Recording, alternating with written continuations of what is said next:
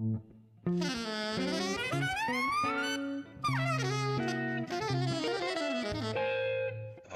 Jazz.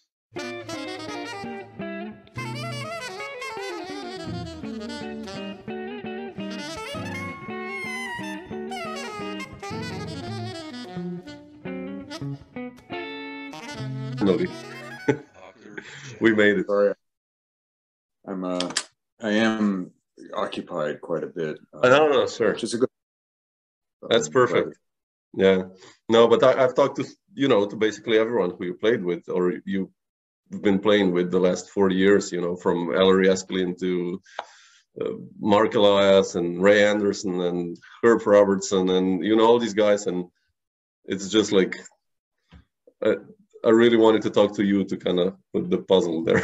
like, you know, Barry Guy, I don't know, Simon Nabatov, all these guys that I really love. And, um, and I, I just wanted to ask you, one thing to start with. Uh, you've been in Switzerland for quite a long time, and uh, you know you've played with basically everyone in the states regarding, let's say, improvised music. Almost everyone, and uh, also in Europe. You know, and I listened, let's say, to the Barry Guy albums you've done recently with him, and uh, how was your first perception when you came to Europe? was there a distinction you felt between European improvisation, let's say, and US improvisation, or not really? Well, I first started to seriously encounter improvisation in Europe um, around 1983 and 1984 when I first came over um, primarily to do solo concerts, but also thanks to my then new friend Ernst Reijseger, I had an opportunity to co-mingle with the Dutch scene. Um, and in, in, it's rather remarkable. In one evening, I think I met just about everybody um, from that scene. They all, Ernst kind of advertised, you got to check this guy out. And they all showed up and they all stayed at the bar and barely listened to anything I played. But we did get a chance to to talk and, and they of course listened a little bit and, and you know it was a, it was the beginning of what would then be a long relationship with the Dutch um, community yeah. which was a vibrant community and a really interesting one and I got to know it step by step player by player um, as well as other things that came my way as I um, became more active performing in Europe. The activity performing in Europe had two streams at first. One was the solo performing, which I was very focused on at the time.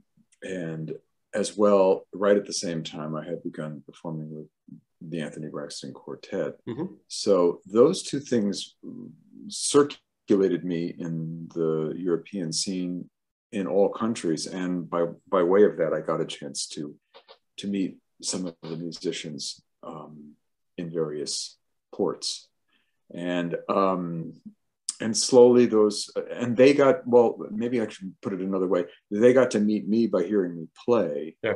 Um, uh, Michel Wintsch, who lives here in Switzerland, and Georg Gräwe both remarked that you know they they got to know me because they came to hear me play either with Braxton or with BassDrumBone or other things that were taking on um, activity as the uh, as the as the years progressed. But I started, as I said, around '83, and I became I was quite active in those two streams I mentioned at first. Those were the main things I was doing, and then a little later in the '80s, uh, BassDrumBone began touring in Europe um, more actively, um, and um, other projects as well came into play. Um, but I would I, I, would begin my own touring of my own band um, around 1989. That would be yeah. the time when I would be working with, uh, and the band, the quintet that I began with, um, had several different formations at first. The very first record Outer Bridge Crossing, it's it's yeah. it's an American based band. It's it's kind of has BassDrumBone with two extra players, except that the one figure in the band that's not part of it is Ernst. Ernst Reijseger was playing cello on the first record, and uh, he was coming to the States quite a lot at that time, performing in different situations, but Yeah. also with me as well.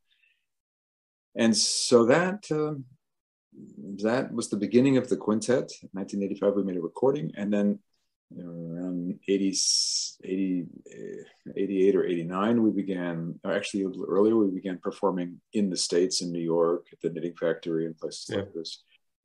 And um, that band quickly evolved, it started to change uh, players until uh, there was a period, the, the first major tour was uh, um, with Don Byron in the, in the seat. Really, I didn't know that. Oh, really? Oh man.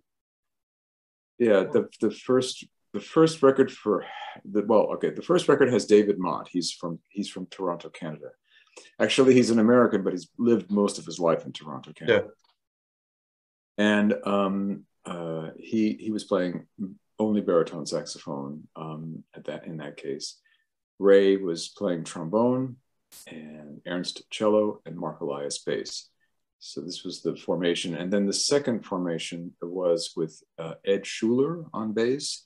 Don Byron was playing both clarinet and baritone saxophone, which is Hmm. uh, uh, really interesting because he didn't, I mean, he came back to it and eventually he started Yeah. playing tenor came much later. But at that time, he had been, you know, as a clarinet player, he had been sort of practical and had picked up the baritone saxophone as a way of getting work. And every- you know baritone saxophone players get work because there's not that many of them. So he he was that was something that he played at the time but he really played it well. And i i loved the way he played baritone. And um we were really involved with each other doing many different projects at that time in the late 80s and um so he was in the band as well ed schuller who- and ernst again and now wolter wierbos who was uh, Oh yeah. Then yeah, he became yeah. he joined he joined the band at this point as well. And the only players that remained fixed were Ernst and Wolter, and eventually Don was replaced by Michael, Michael. Moore, Yeah. and uh, that there that became his. He he held that part of the band for for quite a long period of time, and this band stayed relatively stable. And then Mark Dresser Yeah. became the bassist. Yeah, it was my So, Demon, um, Demon Chaser. I love that one. Such a record. I think. right. That's yeah, the, that's that's the beautiful. second uh, Hat Art record, but the first Hat Art record, the one that has Don on it, is uh, called Special Detail, which is Yeah, yeah. That one has, um, yeah, that, that the band I mentioned before, it's with with them, and that was the first time I brought the group over to Europe, and um, so it's it, yeah, it was just starting. Tour was very there weren't that many concerts, but we were Sure. able to make it happen, and we were able to get it recorded, and and Werner Uehlinger took an interest in the project.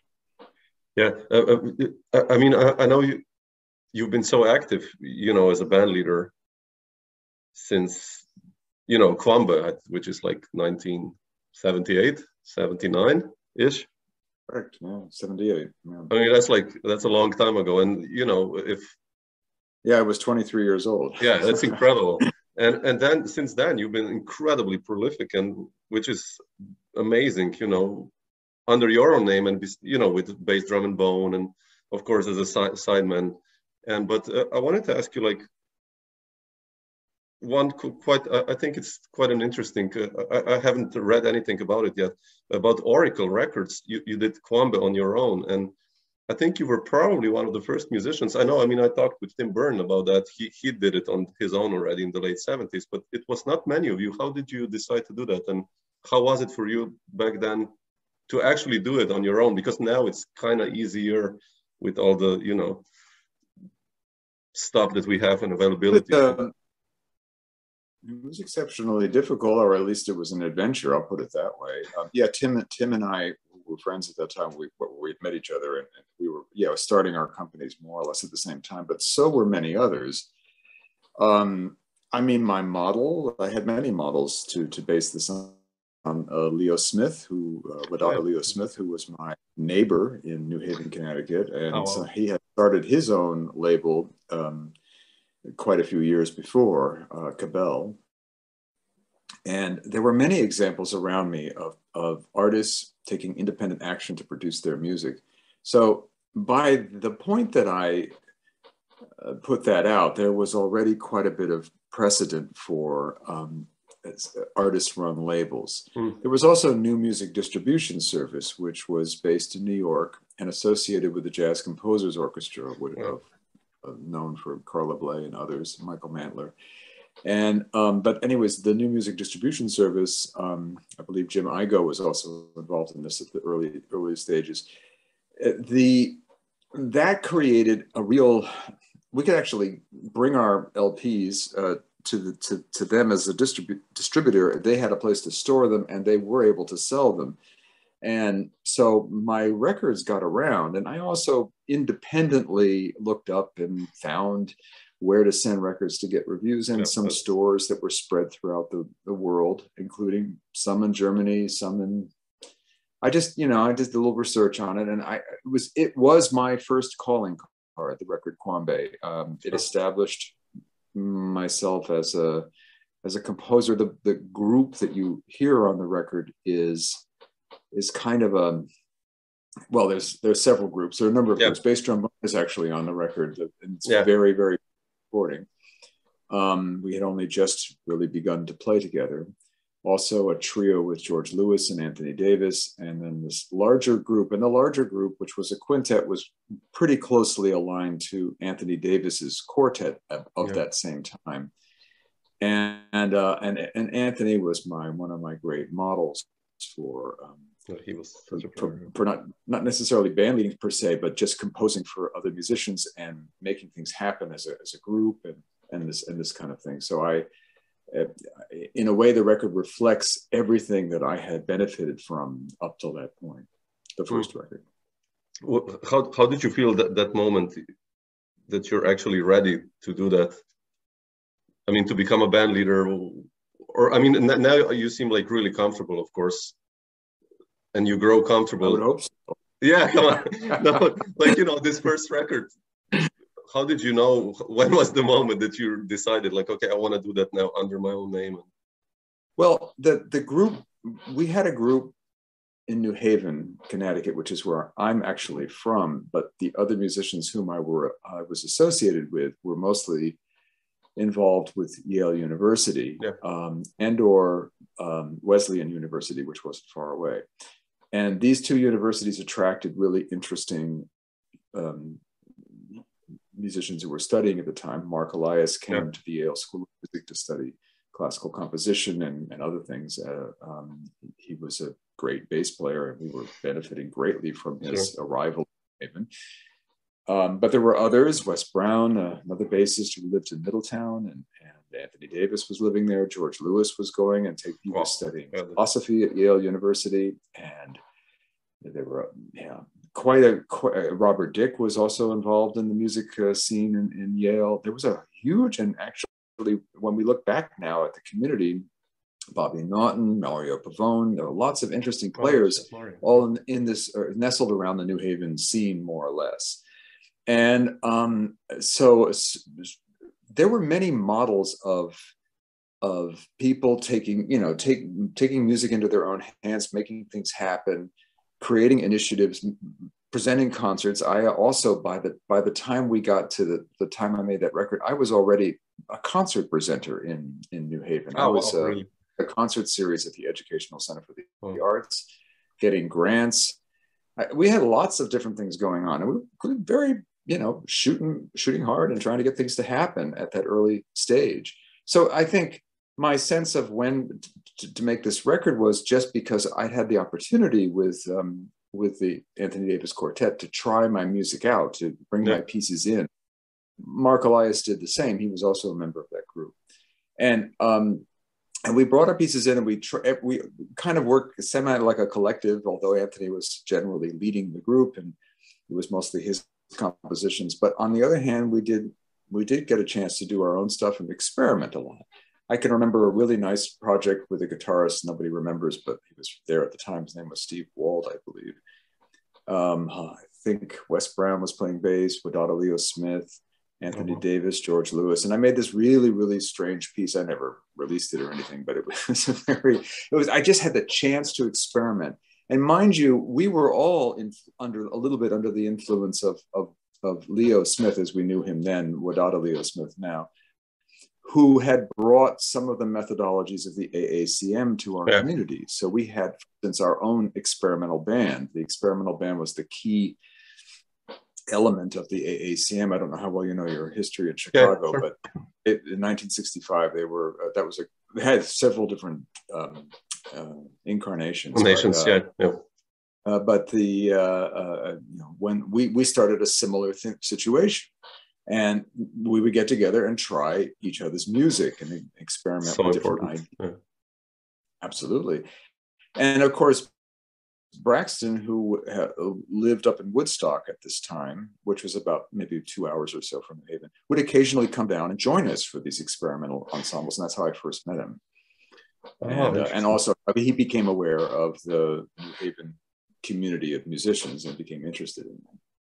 Hmm. You, you, you, mentioned, you know, you played each other's compositions, and uh, how did you start writing these compositions? When, when was the first compositions you wrote? I guess as a teenager, and based on what? I mean, how did that happen? Like, I mean, now it's easier that we know the tools, you know, but like in the beginning, how, how did that happen for you? Well, it's a good question. Um, I autodidacticism was was in the air or in the water.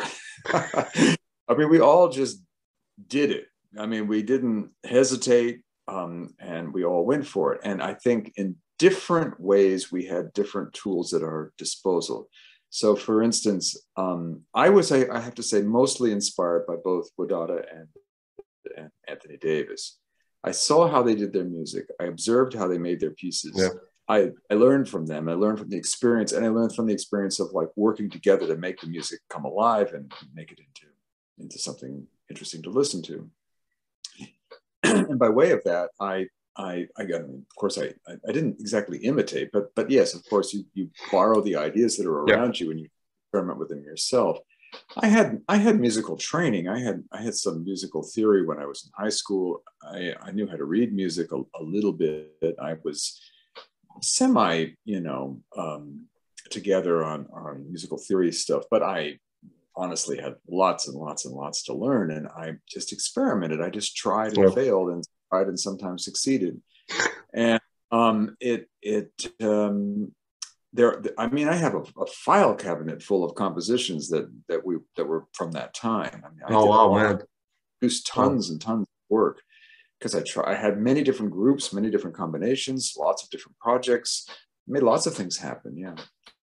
we, would, we, we would love to see those actually. I always love well, seeing this handwritten stuff. And yeah, there's the scores on the one hand, but on the other hand, there's also uh, I I was had a side hobby of, of recording engineering, and so I recorded so much of this music at that time oh, wow. on real tape. I'm working on getting that archive digitized, um, along with Firehouse 12 in New Haven. Um, yeah. And they have the archive at the moment, but we're having we're struggling a bit to get the right uh, tape recorder to play it back, and and then therefore my own tape recorder unfortunately has has um, has, has reached its age of departure. So the recorder the recording machine that I um, actually made the recordings on, we we worked with it for a while, but it fell apart. So we have to find something else. Um, it's quarter track machinery, so it's a little bit more difficult to find. But at any rate, the um, um, the there's a lot of documentation, not only in, um, of course, some of our. I, I'm I'm an archivist and a historian, and this I slowly. Yeah. Over time, I, I, took care for my own archive, but I also looked after others as well. And um, so, yeah, there's quite a bit of data that eventually will surface in one form or another um, hope over time. Yeah, I would love to hear it. It's like, you, you know, I, I hear about all these incredible sessions you guys did in the 70s, or like, you know, Dave Liebman or all these guys start, are telling me about the loft scene and, you know, you know, how these sessions were going on. And it's like, I wish there were recordings of that. Probably, maybe there are, but you know, like these sessions yeah. must have been incredible, right? Yeah, the, the, I mean, I have to say, I, it, it is fortunate I do have this archive of New Haven in that time. Yeah, it's it's true. There was, of course, there was lots that it's went into the air and that's it. And what can we do? But but it, there, eventually we will be able to hopefully put in for scholarship, uh, you know, some of these, some of the documentation that, that we that we have. And there was in New Haven one other thing that should be mentioned that was quite important was the Creative Musicians Improvisers Forum. This was a sister or brother organization to the AACM. We've kind of followed the same um, um, organizational yeah. Pattern, yeah, you could say. Um, uh, it was with myself, uh, myself uh, Wadada was the, the, chairman of it, of course, and Bobby Naughton was involved, and Wes Brown was involved. The four of us did all the legal work to set the whole thing up, and then um, we eventually the, the, organization had I don't know maybe 20 or 30 members at a certain point, lots of different musicians. Um, and we would get together as a large ensemble called the Creative Improvisers Orchestra. And I don't know whether you've ever come across it, but it's a record called The Sky Cries the Blues no, on CMIF oh. No. That's a really interesting record. That's a large ensemble recording, and I have a composition on that. And that's that's oh. from um, around 1980 or so. And also Bobby Naughton does, and Leo has one as well. Hmm, what's the name of it? The the sky. It's called, it's called "The Sky Cries the Blues." Okay. And it's on CMIF Records. It's an mm-hmm. LP, and I I'm fairly certain if you hunt the internet, you will find it somewhere. Um, uh, and if not, I, I can.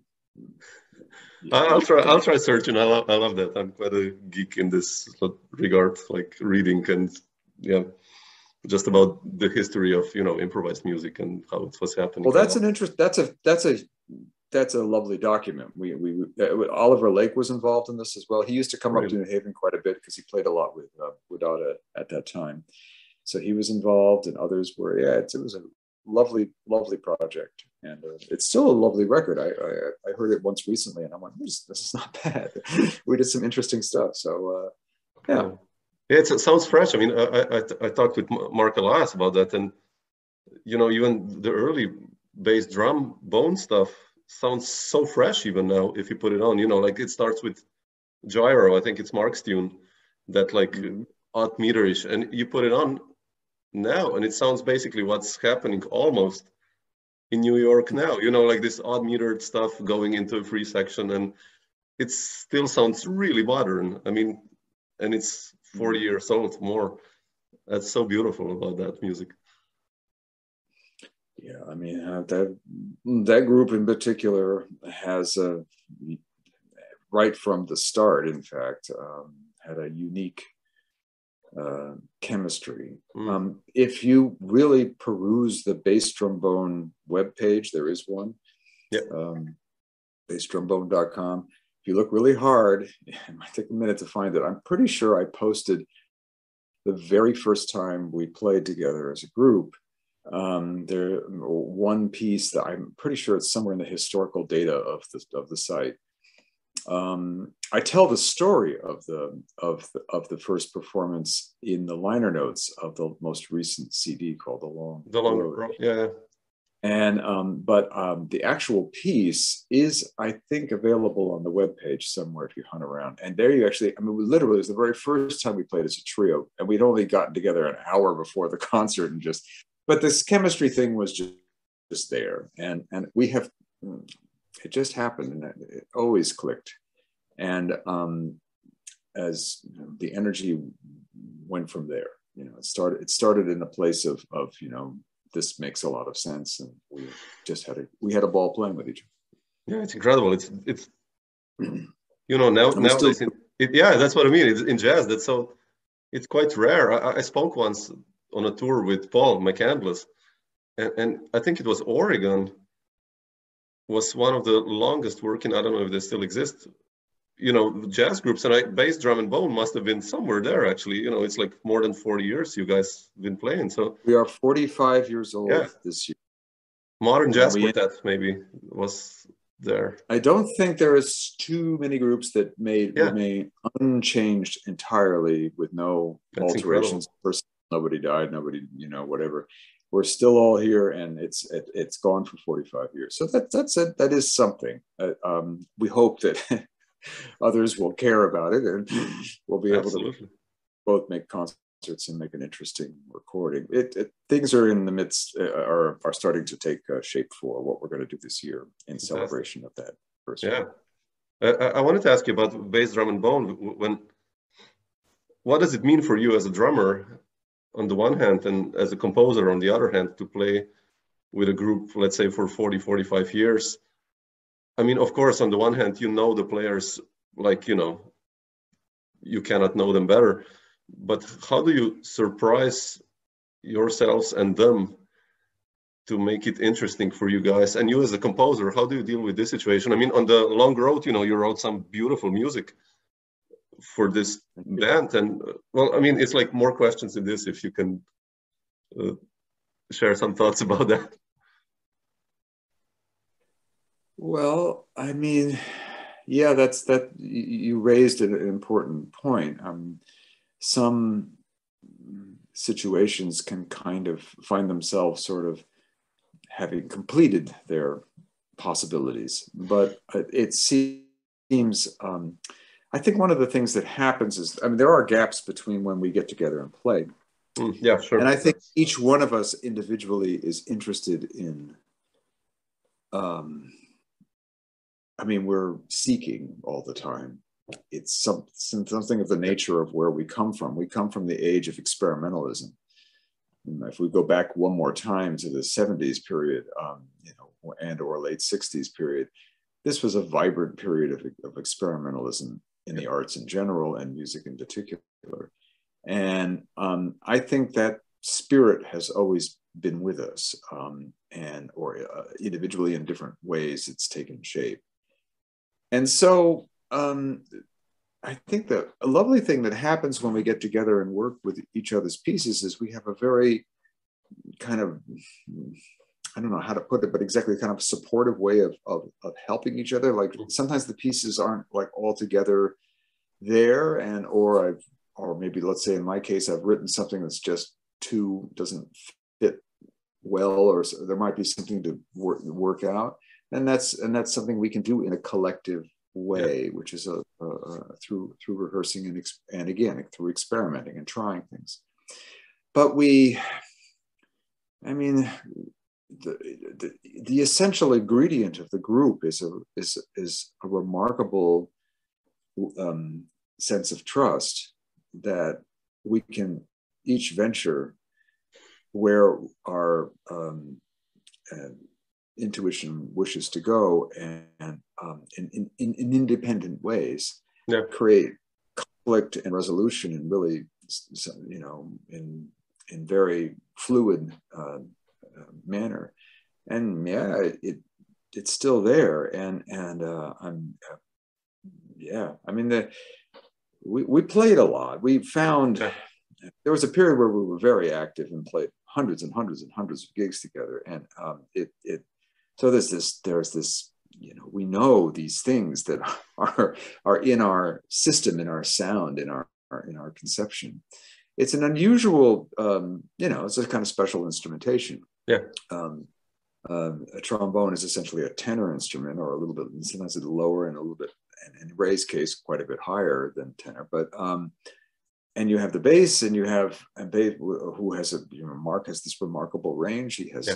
ability as an arco player, and I'm a very I have a lot of options as yeah. a as a drummer. I can do many many different things, and so there is orchestrational possibility that opens many pod, you know many many many ways that we can uh, create music that somehow I, it's I, I, think the long road demonstrates quite well. We have we can keep uh it's incredible. It's a beautiful record yeah there are a lot of records or if you go back to uh, a lot of them are on the bandcamp page that I've put up. Yeah but some of them are on Mark's and some of them are on mine. And yeah, there's some. I mean, go back to check them out again. I'm I'm I'm also myself rather surprised by what I hear. I go, yeah, yeah, that's interesting.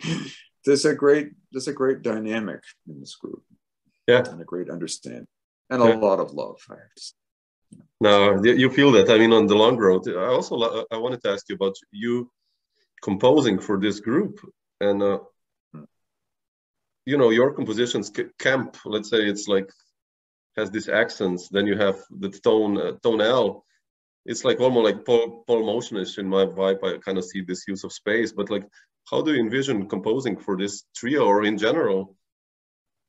How do you write it? So because some are really complex, some are like a couple of notes, you know, simple. So what's the process there? Do, do you have Ray and Mark in your mind when you do that? That or just are you? Uh, sure. In terms of writing for BassDrumBone, yeah. specific, I write mostly specifically for players. I, am okay. of the Ellington school. Ellington vibe, yeah. Okay.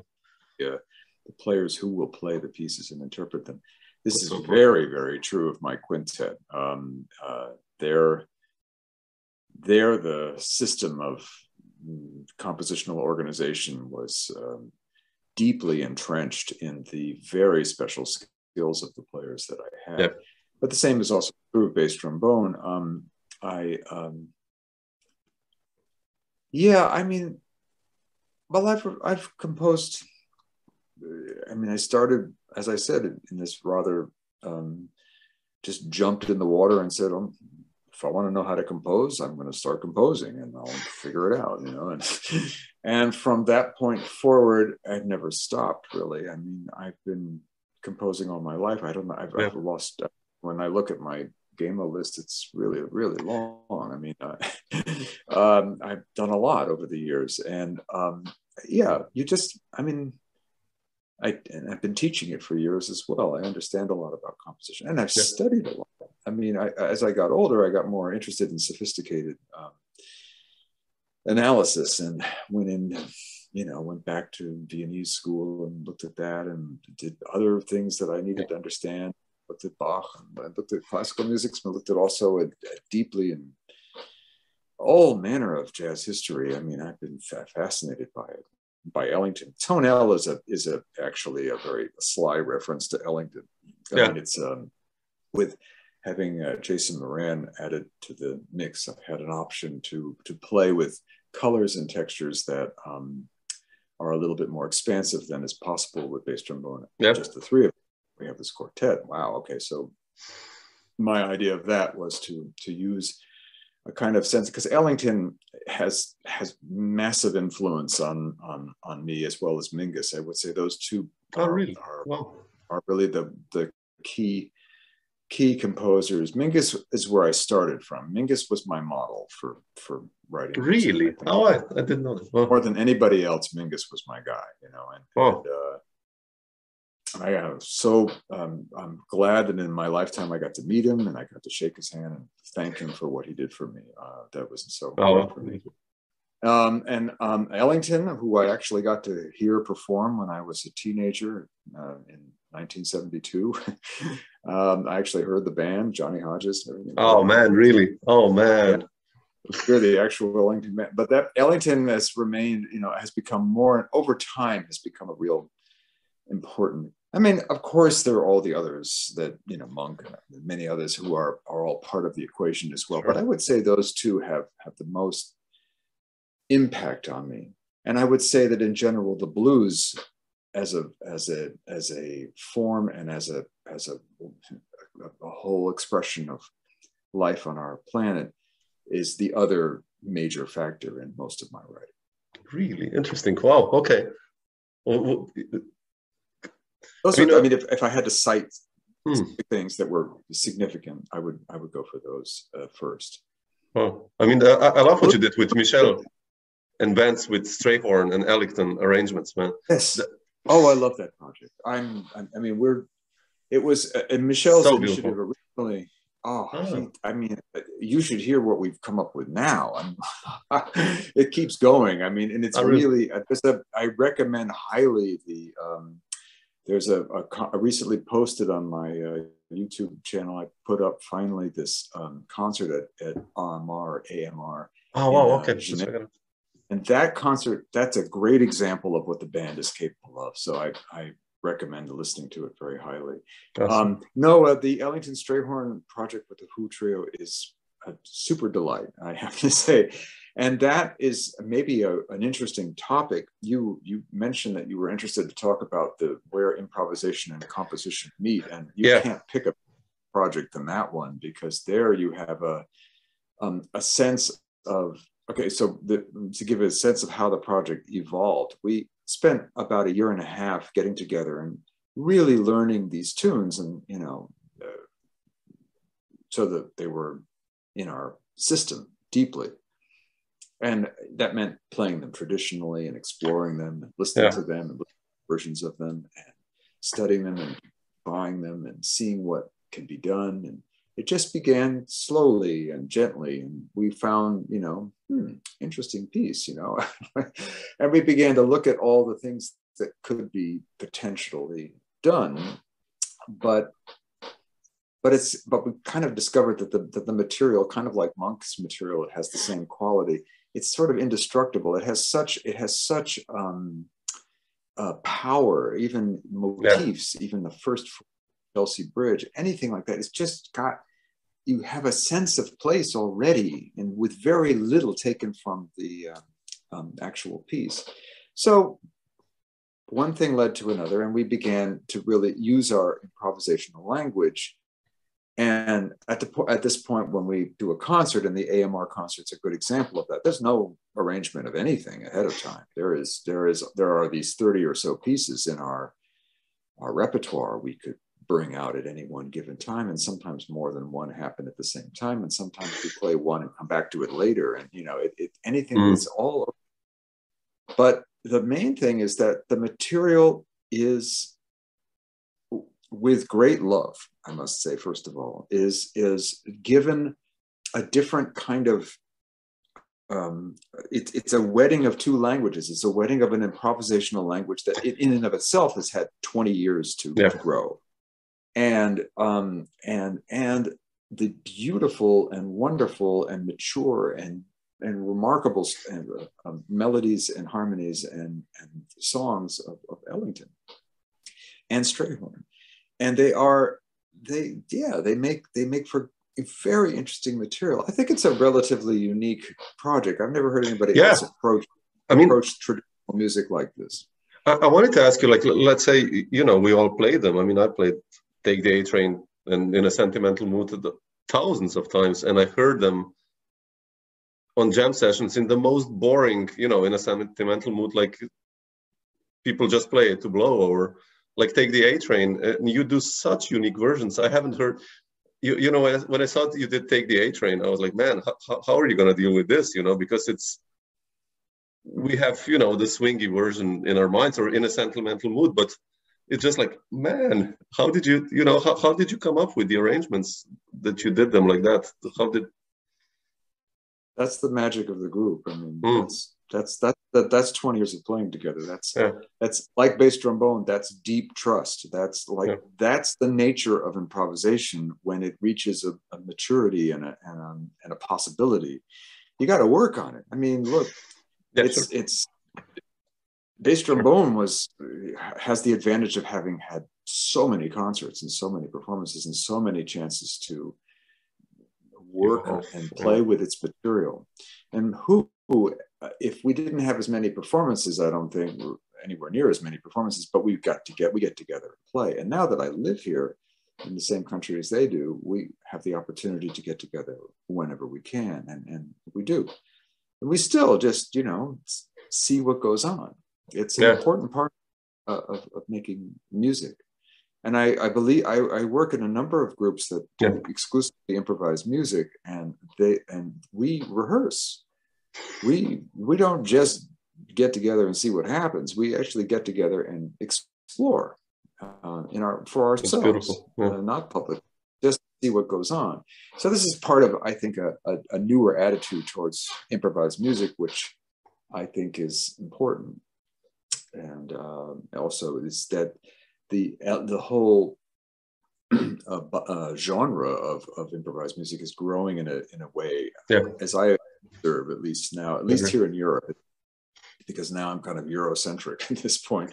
But uh, amongst many things that I see, particularly here where I am, there's a great deal of thought and consideration and care and time put into the possibility of what can happen when players get together and bring their voices and their ideas and their their sense of things together. I was yeah. just doing a session today, as a matter of fact, uh, uh, um, with um, a player who was once my student and one of my colleagues at school. Lovely, lovely, deep experimental work with electroacoustic stuff. Oh, wow, really. beautiful, beautiful. I mean, uh, I wanted to ask you here, like when you improvise, how do you get rid of? It's a tough question, for, but for, for me, like, how do you get rid of? Uh, how do you loosen yourself up and be free in a way that you're really free? Because sometimes do you get stuck sometimes, or do you feel sometimes that? How do you overcome, you know, these barriers in free improvisation? Of course, when we play it with other players, we have their language we can grasp, but still this moment of free liberation of not taking some techniques i will play this now because i can like how do you achieve that in free improvisational context? It's a lot of work. That's a good answer actually. That's it yeah. it's a lot of work and I, I think that's i think there's nothing automatic in life and, and, and improvisation shows us that if you really want to deal with this, perhaps we could call high art or very sophisticated Definitely. form of music, it's um, it's serious business. I mean, it's not it's not easy um, uh, to to really get to a point that you describe where one is in a, a flow with so much possibility and really yeah. go just about anywhere. And but it's but and you're not stuck with your own cliches and you're not stuck yeah. with like relying on and cool sounds and or you know all kinds of other there are many traps. I mean there are a zillion traps but, but it's it's um i could say a lot about that. I mean i think one of the ways you get there is that you you study you listen a lot to the history. I listen to um, well you can see from behind, what's behind me. I listen to a lot of music. I'm i'm a I, have always believed in that. Um, my maiden school was um, getting on, soaking up stuff from the radio that you know, and and finding out about it, and then going to a library and finding the record and or buying it in a store and then listening to it over and over and over again and deeply understanding it or just taking it in, you know, yeah. digesting it. That's one. That's one element. That, and then I would say that the other thing that has enriched my my um, options as a improviser uh, is a mixture of two things. I would say composition in general and solo performance specifically. I did a lot of solo work. I started in 1974. When did you? Oh, yeah, 74. Oh, wow. Okay. It's when I first um, ventured into this idea of performing. How did you come up to? Yeah, yeah. How did? How, who were you inspired by for doing solo drums? Uh, actually, well, again, we're back now. We're back to New Haven one more time. Um, in New Haven, Wadada Leo Smith used to regularly give solo concerts. It was something that he did. His first record, Creative Music One, on Kabell, documents that um, very similar experience that I got to hear many times um, performed. And my experience of the solo performance was so touching. Um, I also Braxton had this solo record as well on Delmark, and there were yeah. other things merging. I mean, this was relatively new territory. But the AACM, I have to say, was instrumental in, in enlivening this um, um, wonderful area of, of uh, musical yeah. uh, ability. And I signed on to that really early on, and I was I was in. I really wanted to, to figure out how to make a, a, music for for solo drums, and it seemed like a pretty difficult proposition because uh, I didn't really like listening to, you know, uh, pyrotechnic drum solos particularly. I mean, I did when I was young, of course. I, I sure. Grand Funk but you name it. I picked out all the, all the, you know, um, uh, athletics of, of the instrument. But I, um, um, I recognized that by that point that I that there was much more possibility. And when I reached around 1980, when I first made the first solo LP that I produced called Solo Works on my own yep. label again, um, that around that time, I began to understand that I could make a language for the instrument, um, also really codify extended techniques. Now, extended techniques were relatively new territory yeah. back in the days. Uh, cymbal scrapes and all kinds of ways of bowing cymbals and all kinds of other things like that were were not. Maybe there was a bit, there was a bit of this. Well, there was a fair amount of it, but not really explored deeply inside of um, 20th century.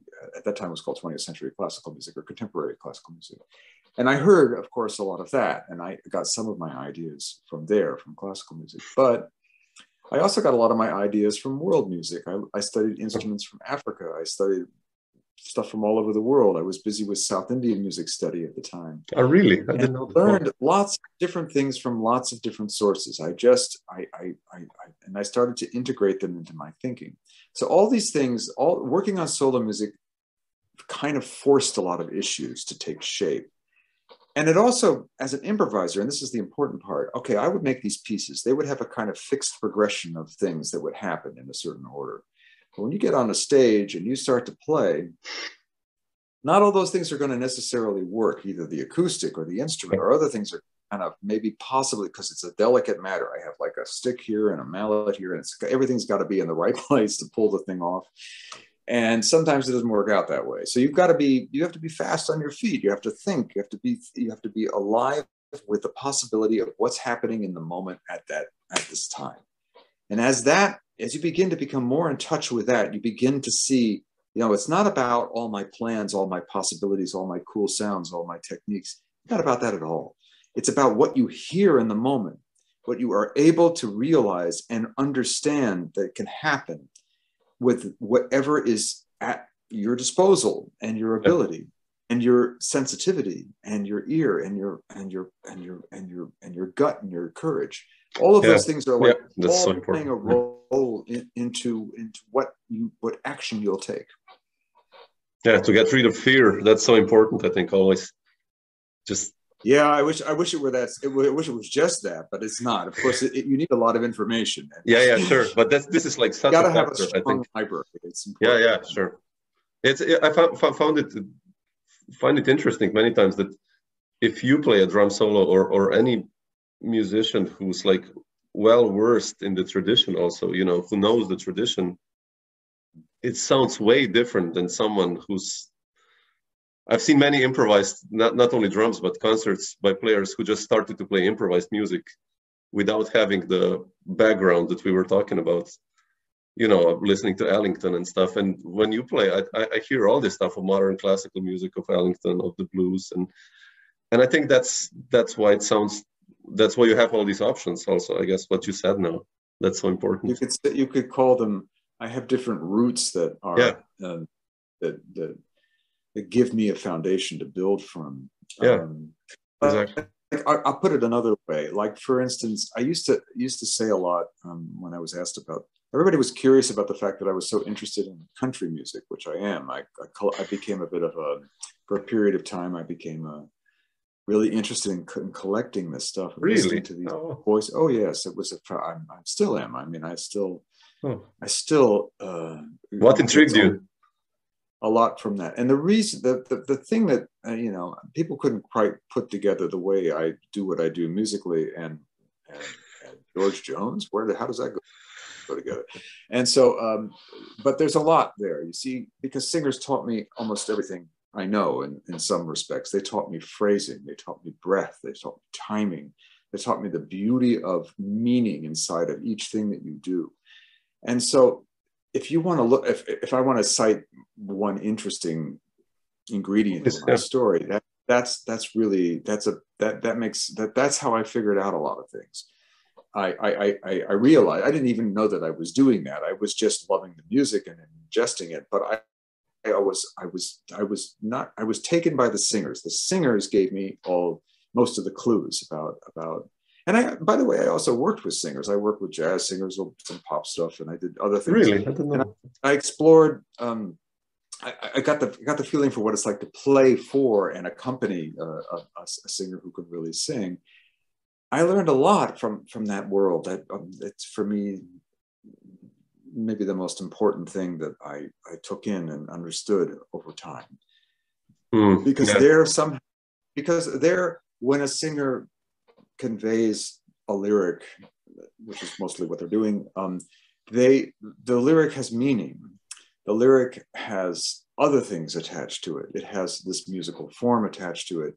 It yeah. has this linear line attached to it. It has this um, um, all these emotions um, possibly attached to it. Uh, it has all different things that yeah. it wishes to share um, and to import and for us to hear and for us to feel. And that, if you want to understand a lot about the way I think when I play, there, if you can make that kind of connection, you'll you'll you'll, you'll kind of get it. I mean, that's that's for me. Uh, um, that, that that's a lot. I, I know that's in my system. Again, I'm not literally taking country music in any way. I'm no, no, sure enough. It's the principle of these things that I'm interested in, and and and uh, and, and how and I and also the internalization of those things. I mean, that explains the title "To Tell a Story" of your solo works, because that's oh. where you, you're you're basically trying to tell a story. That's what a country singer does, right? Or any singer, for matter of fact. I mean, yeah. Well, there's another there's another element. There's another there's more to it than just just what I said. Uh, uh, to tell a story, that you cite the recent film that yeah. I was my answer to just to put it in context uh, for for those of listening to this who don't know what this is. Um, uh, I, of course, we all in in the lockdown phase of things um, had to contend with what to do, and um, um, uh, regarding performance, and I, I, observed what everybody was doing, and I observed the various ways in which people were sharing their music, and I felt I wanted to put something with quality and and depth and and offer it in some way that wasn't also just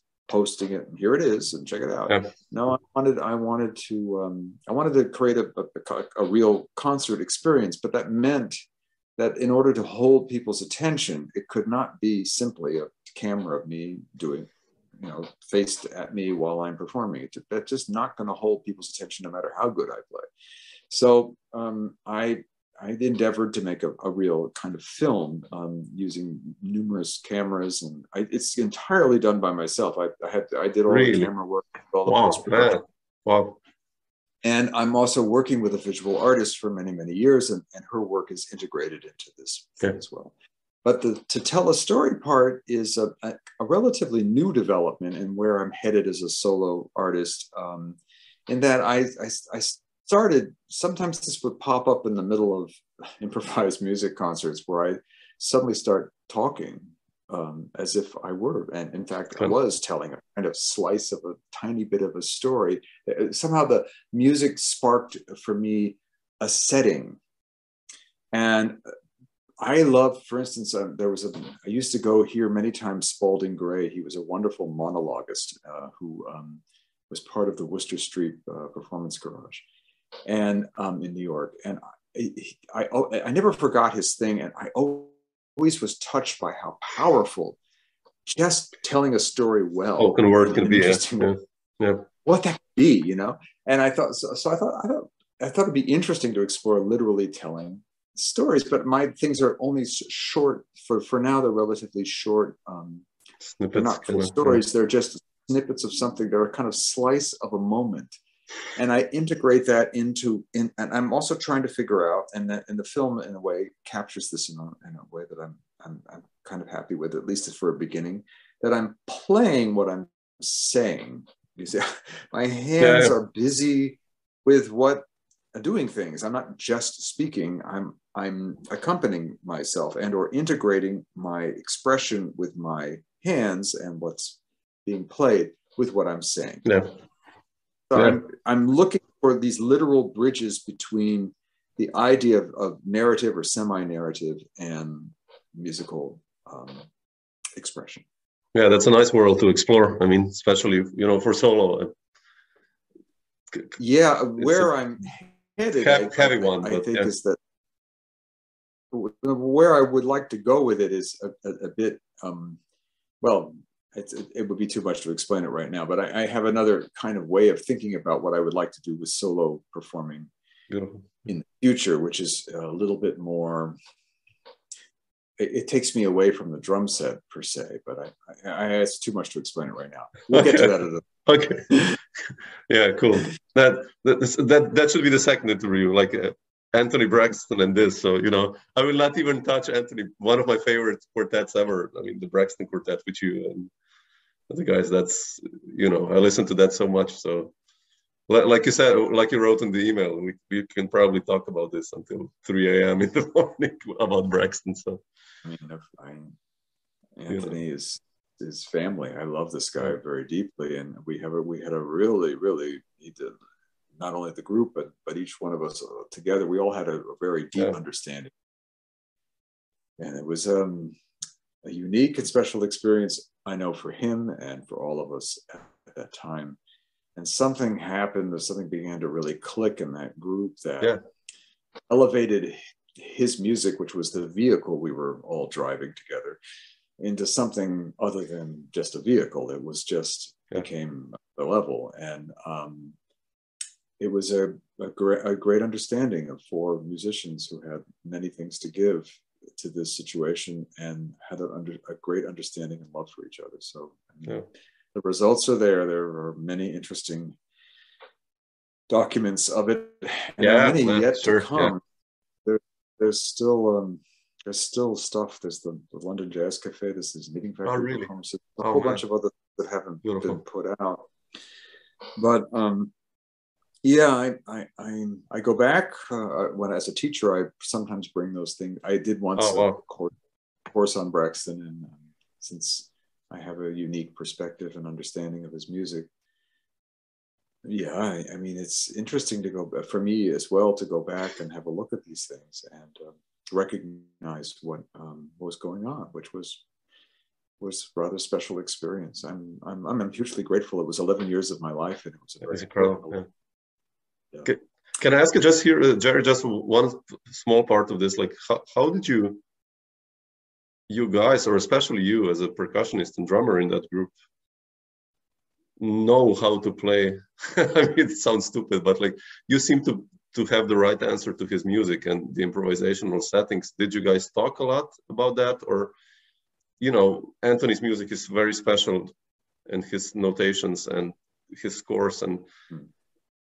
How did you know how to deal with it? Like in the beginning, let's say, like if you remember the first rehearsals of gigs, how, how did you envision your role? Oh well, there's. I mean, I do have a good story for the for one of the first rehearsals. Oh, please. If... It was uh he it was a phrase that would come back from time to time. But he, we were at his house, and he was living at that point. He had moved to New Haven, Connecticut, and um, and at that point, Wadada had moved to California, so they, they they never lived. It seemed in New Haven at the same time. Now they do. They both live about five miles from each other, but. but at any rate, uh, we were at his house. Uh, it was with Marilyn and um, Lindberg and myself, and, and and we were working on these pieces. And he said, "Gerry, Gerry, what I need is is is, is clouds of garbage cans." And he, that's beautifully put. Need this of garbage can. I just loved it. I mean, okay, you got it. I mean, how it's look. I, his music is so many it's dimensional and i think that it offers um, it's it's not that i didn't come to that group with a lot of experience. I'd had a lot of experience. Mind you i'd spent a great deal of time in contemporary music.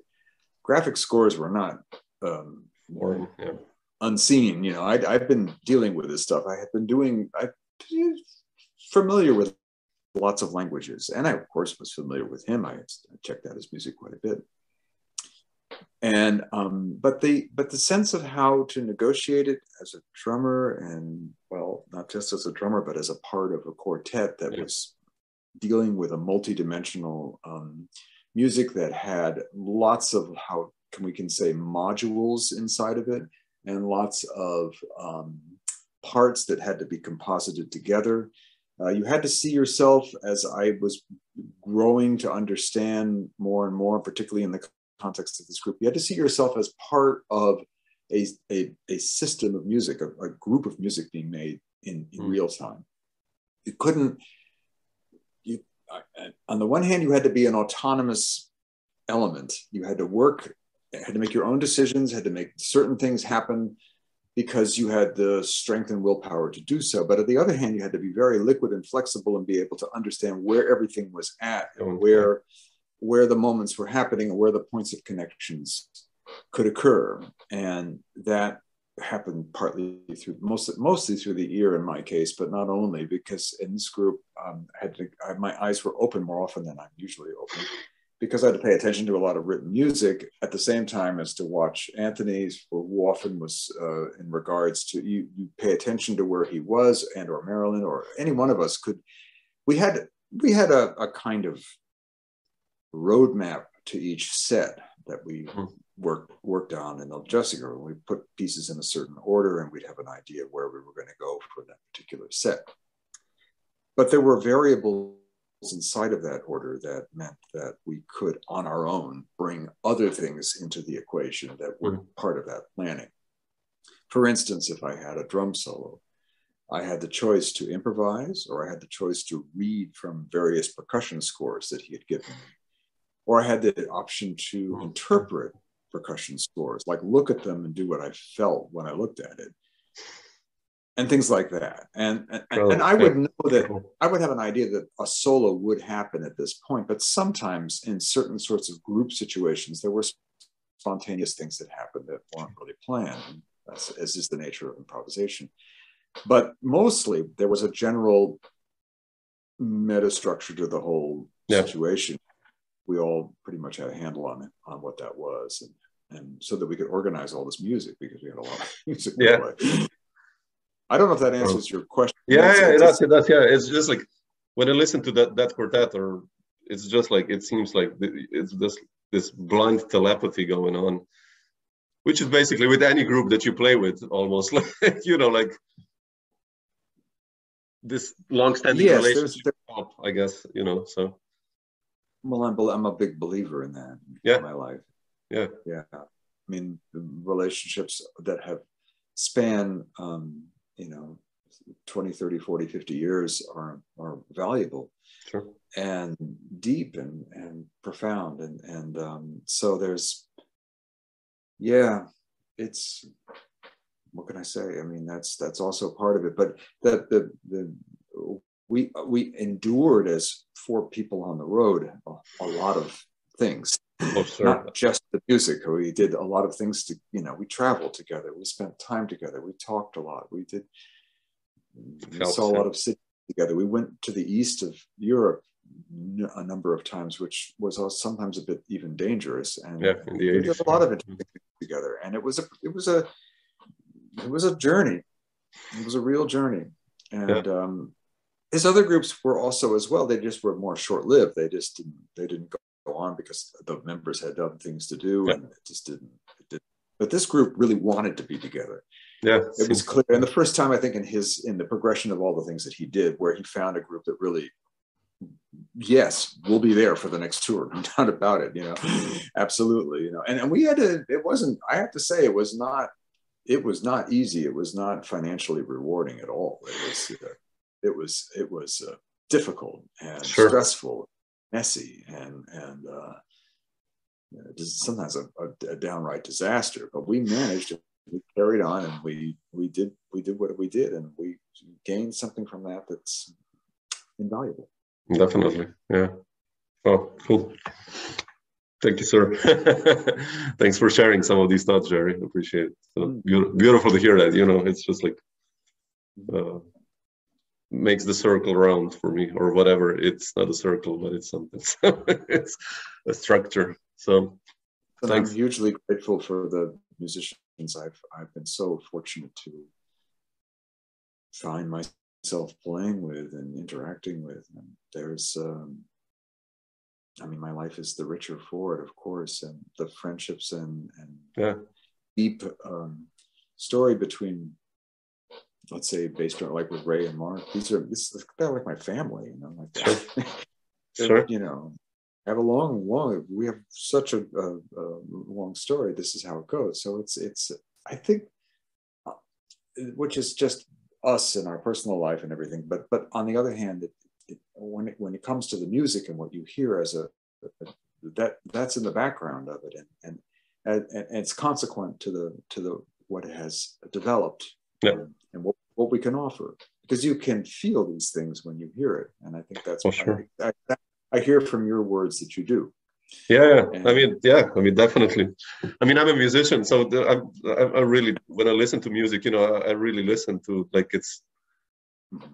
okay. I wanna. Uh, when I learned, it was like one one hour or two hours per day. I listened. That was my practice also, and I tell my students, you know, you don't just have to practice and shed technicals. Just listen to I don't know Braxton Quartet record, but listen to it. Listen maybe only what the bass is doing, you know. But we all know that. But when you explain to to sometimes nowadays in this insta fast world that we're living in, you know, people have hardly time to listen to a one tune composition. You know, i understand that of course and you know what i mean we, we we've changed too we also oh, we did, sure. the um, uh, fb whatever you like thing kind of world also Sure. affects us too Sure. So I'm grateful as a, I'm also been a teacher. uh, I'm about to stop um, after this next semester. Oh, After, wow. I don't know, 15, 20 years of teaching. And I I'm, was teaching first at the New School in New York and for the last 13 years here in Luzern. And um, the thing that maybe the thing I value most, I have to say, about the teaching experience is, is the, uh, the times when I, I teach history a lot. I, I, I sometimes do it formally as a lecture. So, for instance, I have a lecture that go, spans the time. In 12 lectures, I cover 1800 to 1960. Mm, It's wow. It's not an easy thing to do. Yeah, I can imagine.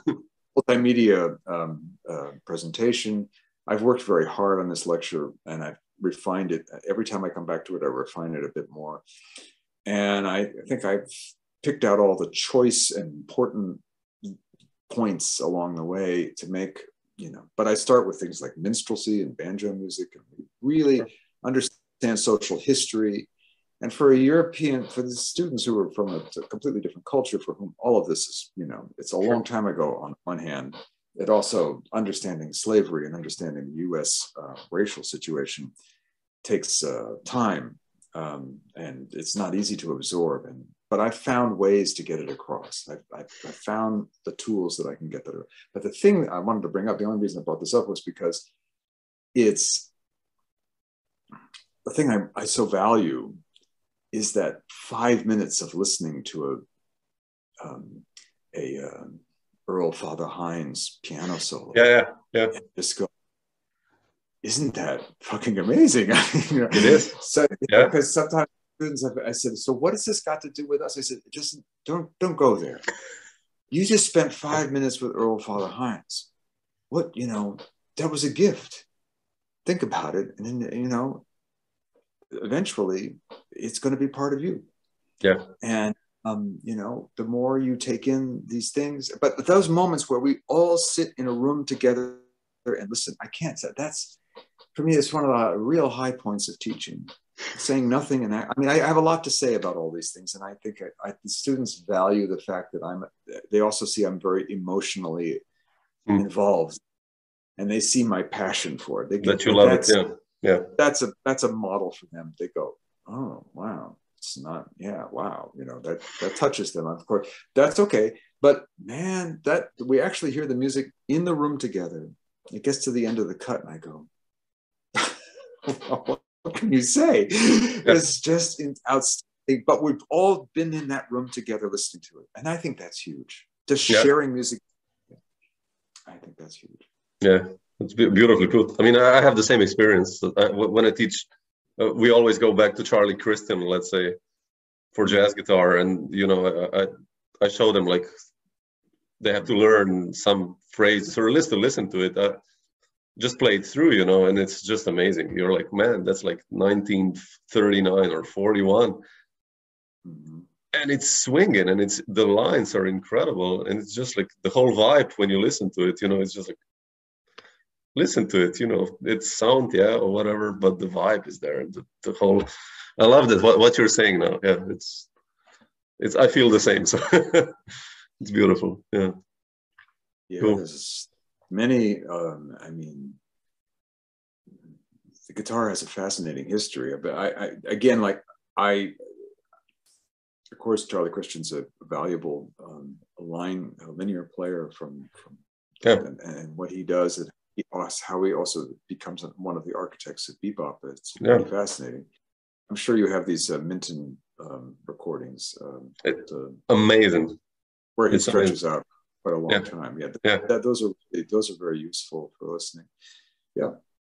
And then you have Django, Django Reinhardt at the same time in Europe, you know, and it's equally, you know, it's a little bit different, but it's the same amount of incredibleness, whatever you want to put it. That's You know, like, do you know that? Well, now we're going to get into it. Uh, do you know the Rex Stewart Quartet record? sure, sure, yeah. With, with Talking about underrated, yeah, yeah. I mean, like, you know, forget it. I mean, this is the most elegant, most Yeah. it's a ridiculous guitar solo on there. It's just you know, Yeah. I, I have a transcription of one of them. It's just Oh, really? You know, oh yeah, it's amazing. yeah, all these guys, I mean- like Oscar, Oscar Moore, man, like uh, Nat King Cole's, Moore, absolute, the lines, super player.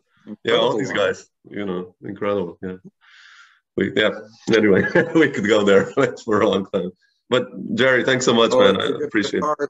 My other loves, I, I love Oh, really? the guitar. You play it also? I have here. I, I play also, but it's not. Uh, I do it for songwriting, but I um, Oh. I'm I'm uh, uh, I love the. I've always loved the instrument, and I've always deeply loved string instruments in general, and um, collected all kinds of recordings. from Oh, really? Yeah. Lots of different history. I mean, I'm really into the Delta players in particular. They're they, they their good their ways are very interesting to me. So yeah rhyth- rhythmically if you if you check out like what, what they're doing in rhythm it's incredible like yeah. al- already like robert johnson's if you transcribe rhythmically what what his flow is of it's like what yeah it's just amazing yeah I know there are many. yeah anyway but